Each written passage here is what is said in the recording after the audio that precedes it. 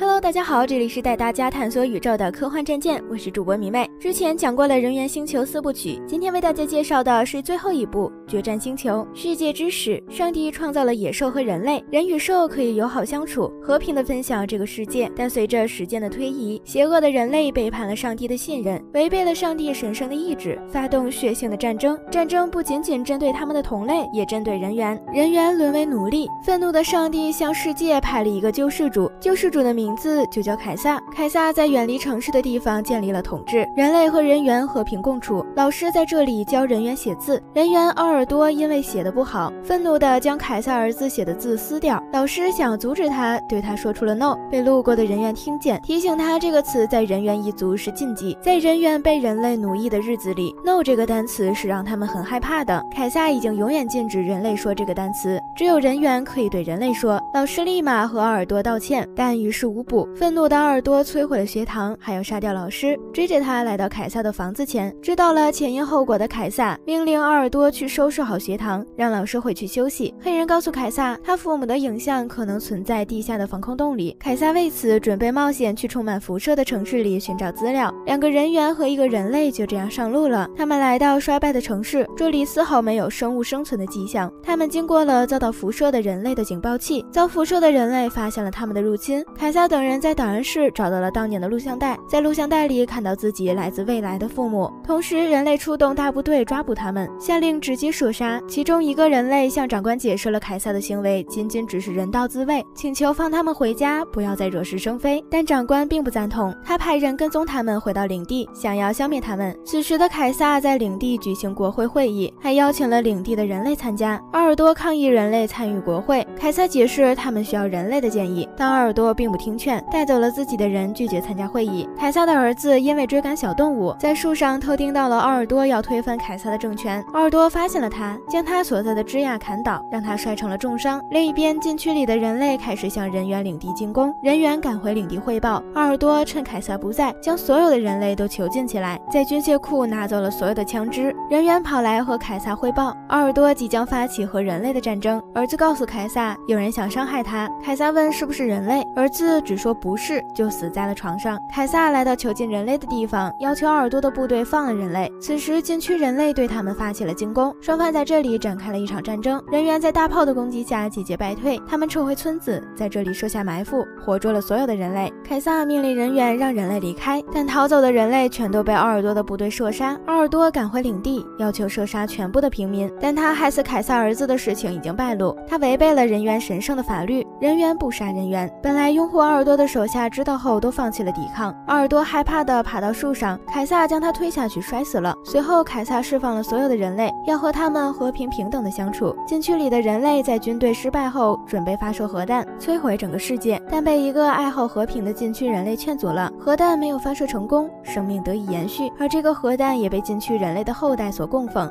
六百年后，地球上的人类和人猿和平的生活在一起。好了，今天的电影就介绍到这里啦。如果你点赞、关注、转发的话，我就陪你一起拯救世界哦！科幻战舰带你看尽各种精彩科幻电影，下期见啦！